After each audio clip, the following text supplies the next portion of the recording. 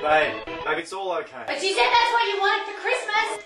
But I... I asked you what you wanted for Christmas, and you said you wanted me to get you bigger jugs.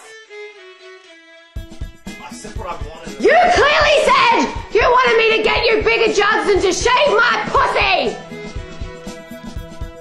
Oh my god!